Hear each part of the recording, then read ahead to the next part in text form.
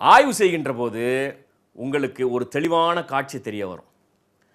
ஐநூறு ஆண்டு காலம் பத்தாம் நூற்றாண்டு பன்னிரெண்டாம் நூற்றாண்டு எட்டாம் நூற்றாண்டிலிருந்து பன்னிரெண்டாம் நூற்றாண்டு வரைக்கும் ஏறக்குறைய நானூற்றி ஐம்பது ஐநூறு ஆண்டு காலம்.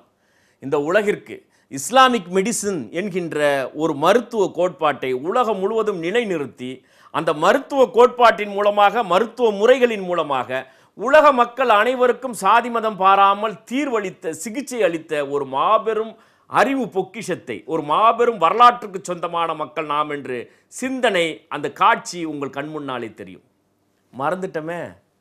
அது படிக்கலையே?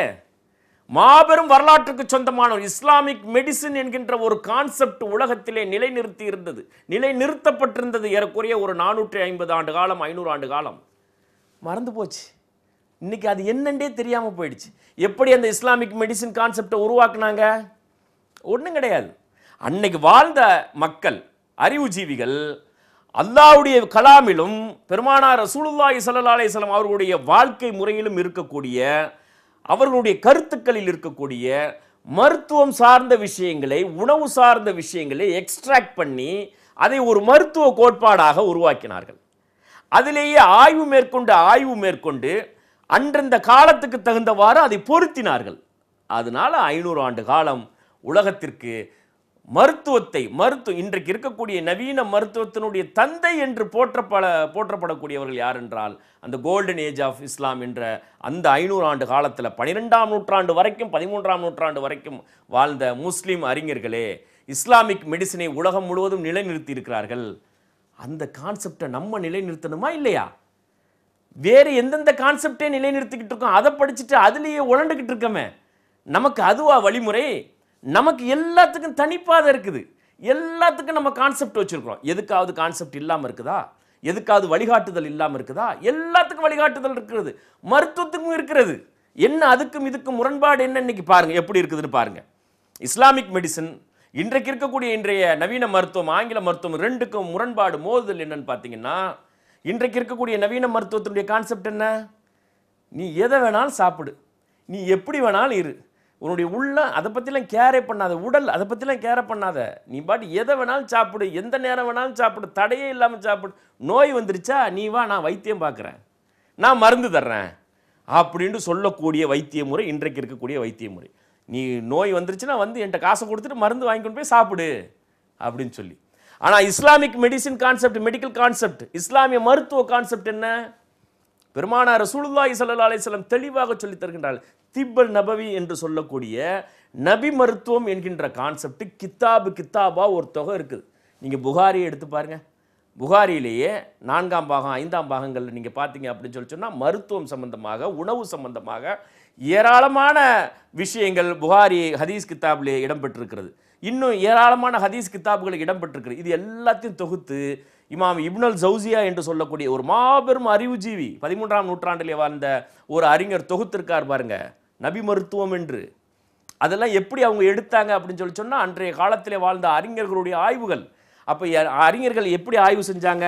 குரானிலும் ஹதீஸிலிருந்தும் பெருமானார் ரசூலுல்லாய் சல்லா அலிஸ்லம் காட்டிய வழிமுறை அதற்கு பின்னாலே அவர்கள் நடைமுறைப்படுத்திய கலீஃபாக்களுடைய ஆட்சியில் நடைமுறைப்படுத்திய விஷயங்கள் எல்லாம் எக்ஸ்ட்ராக்ட் பண்ணி அப்படி உருவாக்கி ஒரு கான்செப்டே உருவாக்குனாங்க. அந்த கான்செப்ட்ல ரிசர்ச் பண்ணி ரிசர்ச் பண்ணி உருவாக்குனாங்க. சமூக நீதி முரசு முஸ்லிம் சமூகத்தின் கல்வி மற்றும் சமூக மேம்பாட்டிற்காக வெளிவரும் மாத இதழ். அடுத்த தலைமுறையை படித்த தலைமுறையாக்கிட உழைத்து வரும் சமூக நீதி அறக்கட்டளையின் வெளியீடு. சமூக நீதி முரசு மாத இதழ் மாதந்தோறும் வீடு தேடி வர ஆண்டு சந்தா ரூபாய் நூற்று எண்பது. சந்தா அனுப்ப வேண்டிய முகவரி சமூக நீதி முரசு மாத இதழ் நூற்றி இருபத்தி ஒன்பது கீழ் அறுபத்தி நான்கு தம்புச்செட்டி தெரு மண்ணடி சென்னை ஒன்று. அன்றைக்கு காலத்தில் இஸ்லாமிக் மெடிசன் என்று அவர்கள் உருவாக்கிய அந்த மருத்துவ முறையோடு ஒன்றி போகக்கூடிய மருத்துவ முறை. சித்த மருத்துவம் இருக்குது பாருங்க. தமிழகத்திலே ஆயிரக்கணக்கான ஆண்டுகளாக பின்பற்றப்பட்டு வரக்கூடிய சித்த மருத்துவம் இருக்குது பாருங்க. இந்த சித்த மருத்துவமும் சேம் இஸ்லாமிக் மருத்துவ கான்செப்டோடு ஒன்றி போகக்கூடியது. உணவே மருந்து. அப்படிங்கிற இந்த கான்செப்ட் ஆனால் இன்றைக்கு இருக்கக்கூடிய நவீன மருத்துவம் என்ன சொல்லும்? உணவு மருந்து கிடையாது. உணவு எதை வேணாலும் தின்னு. மருந்து என்கிட்ட இருக்குது நீ வா. மருந்து நான் தர்றேன். என்கிட்ட காசை கொண்டு வந்து கூட மருந்து நான் தர்றேன். ஆனால் இஸ்லாமிக் மெடி இஸ்லாமிக் கான்செப்ட் சித்த மருத்துவத்தினுடைய கான்செப்ட் ஆயுர்வேத மருத்துவத்தினுடைய கான்செப்ட் அலோபதி மருத்துவத்தினுடைய இன்னும் ஹோமியோபதி மருத்துவத்தினுடைய கான்செப்ட் எல்லாம் என்னென்னு பார்த்தீங்கன்னா யுனானி மருத்துவத்தினுடைய கான்செப்ட் இந்த இந்திய மருத்துவ முறைகளுடைய கான்செப்ட் எல்லாமே உணவே மருந்து. நீ உட்கொள்கின்ற பொருள் நீ வாயில் எதை போடுறியோ வயிற்றுக்குள்ளே எதை தள்ளுறியோ அதில் கேர்ஃபுல்லாக இரு. அது கிளியராக இருந்துச்சுன்னா உனக்கு எந்த வியாதியும் வராது அப்படின்னு சொல்லக்கூடிய கான்செப்ட் அதனால் இஸ்லாமிய மருத்துவ முறைகளோடு உலகத்திலே ஒன்றி போகக்கூடிய மருத்துவ முறைகளிலிருந்து எக்ஸ்ட்ராக்ட் அதிலிருந்து எடுக்கப்பட்ட விஷயத்தையும் வைத்து முதல் முதலாக உமையாக்களுடைய ஆட்சியில் உமையாக்களுடைய ஆட்சியில் பீமாரிஸ்தான் என்கின்ற ஒரு அதாவது பீமாரிஸ்தான் அப்படின்ட்டா அதுதான் ஒரு மருத்துவமனை. உலகத்தில் முத முதல்ல ஒரு மருத்துவமனையை உருவாக்கி காட்டியவர்கள் யார்? அந்த ஹிஸ்டரியை கொஞ்சம் புரட்டி பாருங்க. மருத்துவமனையை பீமாரிஸ்தான் என்கின்ற சொல்லக்கூடிய அந்த ஒரு நிறுவனத்தை உருவாக்கி ஒரு அரசு என்று இருந்தால் அந்த அரசு ஒரு மருத்துவமனையை உருவாக்கி அதன் மூலமாக தன் குடிமக்களுக்கு இலவசமாக வைத்தியம் பார்க்கணும் மருத்துவம் பார்க்கணும் என்கின்ற கான்செப்ட் இந்த உலகத்தில் முதல் முதலாக நிலைநிறுத்தியவர்கள் முஸ்லிம்கள்.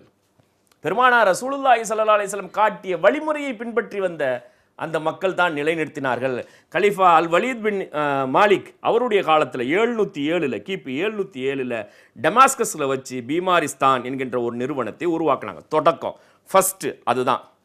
அதற்கு பிறகு ஒன்பதாம் நூற்றாண்டில் எட்நூற்றி பதினஞ்சு எட்நூற்றி இருபதில் கலிஃபா ஹாரூன் அல் ரஷீத் அவர்களுடைய காலத்தில் முழுமையான ஒரு பீமாரிஸ்தான் முழுமையான ஒரு மருத்துவமனையை உருவாக்கினார்கள். பாக்தாதில் வச்சு உருவாக்குறாங்க.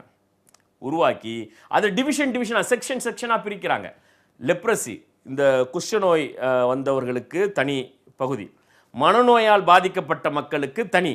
இன்னும் ஒவ்வொரு துறையாக தனித்தனியாக பிரித்து பிரித்து அவர்களுக்கு அங்கே வைத்து வைத்தியம் பார்க்கக்கூடிய ஒரு வேலையை முறைப்படி சிஸ்டமேட்டிக்காக முதல் முதலாக இந்த உலகத்திலேயே முதல் முதலாக சிஸ்டமேட்டிக்காக அமைத்தது கலிஃபா ஹாரூன் அல் ரஷீது காலத்தில் பாக்தாத்தில் உலகத்தில் அதுக்கு முன்னால் எங்கேயுமே ஒரு அரசு ஒரு மருத்துவமனையை நடத்தணும் இலவசமாக வைத்தியம் பார்க்கணுங்கிற கான்செப்டே கிடையாது. இன்னும் சொல்ல போனால் ஐரோப்பாவில் ஒரு மருத்துவமனையே கிடையாது. வரலாற்று ஆசிரியர்கள் ஐரோப்பிய வரலாற்று ஆசிரியர்களே எழுதி தள்ளி இருக்கிறார்கள். முத முதல்ல அது நீங்கள் நெட்டில் போனீங்கன்னா இன்னும் உங்களுக்கு டீட்டெயிலாக கிடைக்கும். அதனுடைய நிறைய புத்தகங்கள் எல்லாம் இருக்கிறது. அப்போ அதில் உருவாக்குறாங்க. அப்படி அவங்க என்ன செய்கிறாங்க அது ஒரு மருத்துவமனையை அமைச்சு அதில் ஆய்வு மேற்கொள்வதற்கான ஒரு ரிசர்ச் யூனிட் இருக்குது. இஸ்லாமிய மருத்துவத்தில் இஸ்லாமிக் மெடிசின் இஸ்லாமிக் மெடிசின் என்றே ஒரு கான்செப்ட் அந்த இஸ்லாமிய மருவ மருத்துவத்தில் ரிசர்ச் பண்ணுறதுக்கு ஒரு தனி யூனிட்டை வச்சு ஆய்வுகள் மேற்கொள்வதற்காக உலகத்தினுடைய பல்வேறு பகுதிகளிலிருந்தும் இந்த மருத்துவ முறையோடு இஸ்லாமிய மருத்துவ முறையோடு ஒன்றி போகக்கூடிய உணவே மருந்து வாழ்க்கையே மருத்துவம் வாழ்க்கையே சிறந்த வாழ்க்கையாக வாழ்வது கட்டுப்பாடான வாழ்க்கை வாழ்வது என்கின்ற அடிப்படையை போதிக்கக்கூடிய அந்த மருத்துவ கான்செப்ட் சித்த மருத்துவத்தை ஆயுர்வேத மருத்துவத்தை இன்னும் கிரேக்கத்தில் இருக்கக்கூடிய யுனானி மருத்துவத்தை எல்லாத்தையும் எடுத்துகிட்டு வந்து வச்சு அதில் இருக்கக்கூடிய இஸ்லாத்தோடு ஒன்றி போகக்கூடிய நல்ல விஷயங்களை எல்லாம் சேர்த்து வச்சு ரிசர்ச் பண்ணி ரிசர்ச் பண்ணி புது புது விஷயங்களை புது புது நோய்க்கான மருந்துகளை கண்டுபிடிச்சாங்க. அந்த ரிசர்ச் யூனிட் நடந்துக்கிட்டு இருக்கும்போதே என்ன பண்ணுறாங்க அப்படின்னா அதில் ரிசர்ச் பண்ணி படித்து பட்டம் பெற்று வரக்கூடிய இளைஞர்களை உருவாக்கணும் சொல்லி ஒரு மெடிக்கல் யூனிவர்சிட்டி ஒரு காலேஜையே அந்த மருத்துவமனையிலே உருவாக்குறாங்க. இதெல்லாம் நம்ம திட்டமிட்டே மறைத்தார்கள் இரண்டாயிரத்தி ஒன்பதிலே நாம் பார்த்த அந்த ரமலான் நிகழ்ச்சியில் விரிவாக பார்த்தோம். பீமாரிஸ்தான் என்கின்ற ஒரு கான்செப்ட் உருவாக்கப்பட்டது அப்படின்னு சொல்லி. அப்போ மெடிக்கல் யூனிவர்சிட்டி ஒரு மெடி ஒரு ஆஸ்பத்திரி இருக்கிறது அதுக்குள்ளே ஒரு மெடிக்கல் காலேஜ் இருக்கிறது அது மட்டும் கிடையாது. அந்த மெடிக்கல் காலேஜில் படிச்சுட்டு வெளியில் வர்றாங்க இல்லையா? அவங்களுக்கு ஒரு பட்டம் கொடுக்கணும் அப்படிங்கிற கான்செப்டையும் உலகத்துக்கே காட்டி தந்தவர்கள் முஸ்லீம்கள். கலிஃபா ஹார்னுல் ரஷீத் காலத்தில் தான் அந்த பாக்தாதில் இருக்கக்கூடிய பீமாரிஸ்தானில் தான் இந்த மெடிக்கல் காலேஜ் இருந்தது. படித்து முடிச்சுட்டு வெளியில் வர்றவங்களுக்கு ஒரு பட்டம் ஒரு டிகிரி சர்டிஃபிகேட் இஷ்யூ பண்ணணும் அப்படிங்கிற கான்செப்டையும் உலகத்துக்கு காட்டி தந்தார்கள். இது மாத்திரமல்லாமல் அந்த அந்த மருத்துவமனையை நடத்துறதுக்கு ஒரு நிறுவனத்தை உருவாக்குனாங்க பாருங்கள் அதுதான் முக்கியமான பாயிண்ட் இது எங்கே இருந்து எடுத்தாங்க அப்படின்னா பெருமானார் ரசூலுல்லாஹி சல்லா அலிஸ்லாம் என்ன பண்ணாங்க அப்படின்னா செல்வந்தர்கள் எல்லாத்தையும் கூப்பிட்டு அதாவது ஜக்காத்து கொடுக்கறது ஒரு பக்கம் இருக்கட்டும். இது இல்லாமல் உங்களுடைய நிலையான அறத்துக்கு சதக்கத்துல் ஜாரியா என்று சொல்லக்கூடிய அந்த விஷயத்துக்கு நீங்கள் தேடிக்கொள்ளுங்கள் நிறைய தேடிக்குங்க. அதுக்கு படைப்பினங்களுக்கு மனித படைப்பினங்களுக்கு மனித சமூகத்திற்கு அறப்பணிகள் செய்வதற்கு இந்த மாதிரி நன்மையான விஷயங்கள் மருத்துவம் கல்வி போன்ற நன்மையான விஷயங்களை மேற்கொள்வதற்கு உங்கள் சொத்துக்களிலிருந்து நீங்கள் தானம் தர்மங்களை நீங்கள் தானமாக வாரி வழங்குங்கள் அப்படின்னு பெருமானார் ரசூலுல்லாய் சல்லாசன் சொன்னாங்க. நிறைய பேர் அந்த மாதிரி சொத்துக்களை எல்லாம் கொடுத்தாங்க. அதை ஹசரத் உமரில் இல்லாதவங்க என்ன பண்ணுறாங்க சிஸ்டமேட்டிக்காக அதை கொண்டுட்டு வர்றாங்க. எப்படி கொண்டு வர்றாங்கன்னா அவுகாஃப்ன்ற ஒரு நிறுவனத்தை உருவாக்குறாங்க. நிறுவனத்தை உருவாக்கி அதுக்கு ஒரு நிர்வாகத்தை வச்சு இந்த மாதிரி என்டோமெண்ட் யாரெல்லாம் வந்துட்டு தானமாக சொத்துக்களை கொடுக்க விரும்புகிறாங்களோ செல்வம் வசதி படைத்தவர்கள் ரெண்டு சொத்து இருக்குது மூணு சொத்து இருக்குது ரெண்டு வீடு இருக்குது